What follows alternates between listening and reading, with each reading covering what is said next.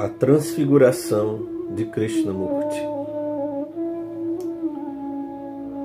O relato a seguir faz parte de um diálogo entre Evelyn Blau e a médica pediatra Asha Singh Lee, que aconteceu em 6 de dezembro de 1987 em Ohio, Califórnia. Em março de 1969, Asha era uma jovem recém-formada em medicina pediátrica. Depois de casada, ela foi morar e trabalhar em Rich Valley, tornando-se a médica da escola de Krishnamurti. Nessa época, ela costumava levar flores para enfeitar o local onde Krishnamurti ficava hospedado ela relata um estranho e misterioso incidente envolvendo Krishnamurti. Algo realmente extraordinário e digno de reflexão. Qual o significado de tal visão? Seria a manifestação de algo sagrado e místico ou apenas e tão somente uma alucinação? Ouça o relato e tire suas próprias conclusões.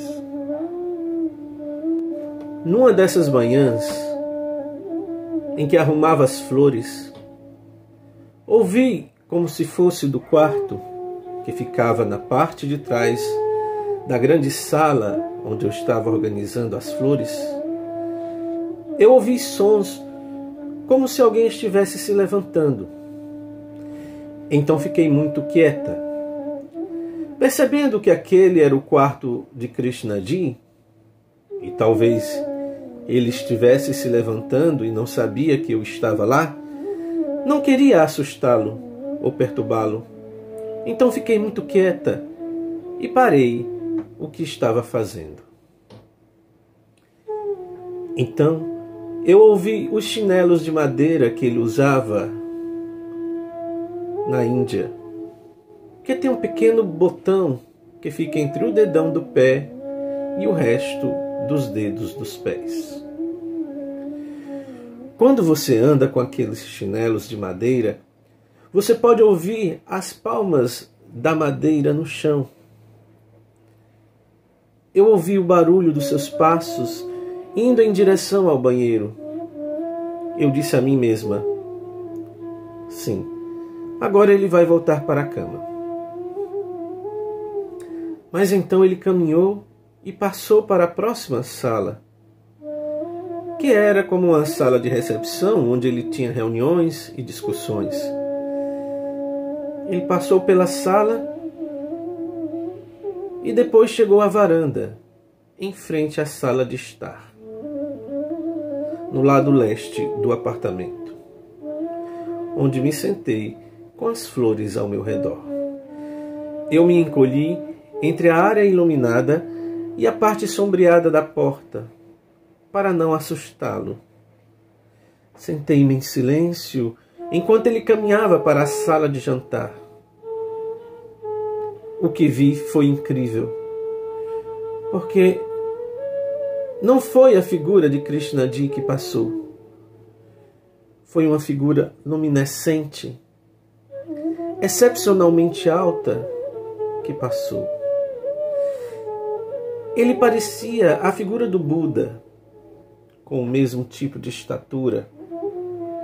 Esta figura foi em direção à cozinha e então voltou em alguns momentos.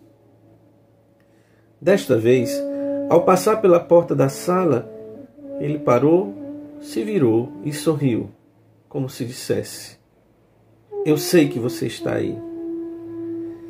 Eu apenas sentei lá absolutamente imóvel eu não conseguia entender isso de jeito nenhum. Não havia medo. Era extraordinário. Foi algo muito bonito. E era Krishnamurti? Bem, era Krishnamurti porque aquele era o quarto dele. Ele tinha vindo de lá Ele saiu do banheiro dele, atravessou a varanda até a sala de jantar, cozinha e então voltou. Não havia mais ninguém naquele apartamento. Você poderia descrever de que forma ele parecia ser diferente? Krishnadi é uma pessoa muito esguia, delicada e de estatura pequena. Esta figura era pelo menos o dobro de sua altura e maior. Era como se houvesse uma luz dentro do corpo. O rosto era muito pacífico e compassivo, e parecia haver algo sobre a sua cabeça. Porque eu vi pinturas de Ajanta e Elora e outros lugares. Isso me lembrou do Buda, com aquela cabeça e figura. Fiquei sentada lá, muito quieta, por algum tempo. Então, peguei minhas coisas muito rapidamente e desci silenciosamente as escadas. Eu me tremia toda no caminho.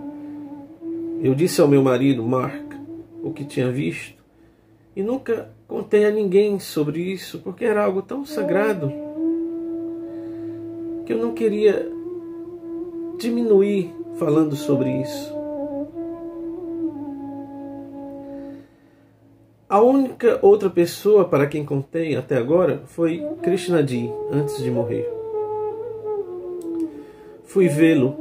Pedi para vê-lo em particular, como fazia todos os anos. Havia uma questão muito comovente em, minha mente. Eu disse: Krishnadi, quero perguntar a você sobre algo que vi. Não sou um tipo de pessoa supersticiosa, não costumo ter visões. Mesmo que veja algo, ou se eu escuto algo no escuro, eu vou lá dar uma olhada. Estou preocupada com o fato e a realidade. Eu expliquei a ele como eu estava em seu apartamento naqueles primeiros anos, logo depois que me casei e fui para Rich Valley. E como eu estava sentada lá e o que eu tinha visto. Ele se sentou com as mãos cruzadas e a cabeça baixa. Depois que eu terminei, ele levantou os olhos e disse: você viu algo. Por que questiona isso? Eu disse: Não estou questionando porque vi, mas estou tentando entender. E pensei que talvez falar com você explicaria isso. Ele disse: Você viu. Não há outra explicação. Ficamos sentados em silêncio enquanto ele segurava minha mão. E então eu saí. Esse evento, no primeiro ano em que estive no Rich Valley, estabeleceu em mim um relacionamento com Krishna Di. Havia algo além do comum que estava presente aquela manhã. Quando assisti às suas palestras, senti que havia a presença de algo extraordinário e estou certa de que muitas outras pessoas também o sentiram. Do livro Krishnamurti, 100 anos, de Evelyn Blau, 1995, Nova York. Tradução, apresentação e edição de Alcibar Paz.